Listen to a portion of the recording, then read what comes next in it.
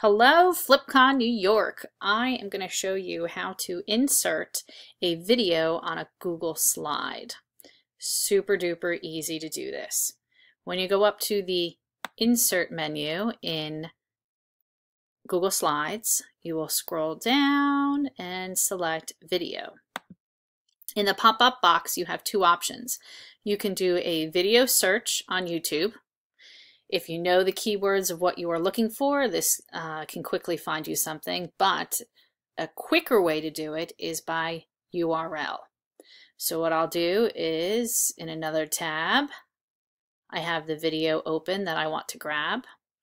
I will come up here and grab the URL, then return back to the slide deck and paste it into there. The video has appeared hit the blue select button.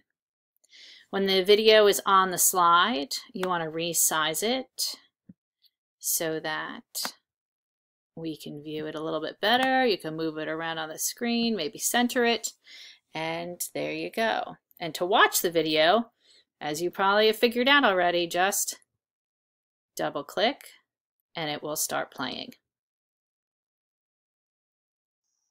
Greetings, this is Mrs. and I'm going over. If you have any questions about this, please let me know. Thank you.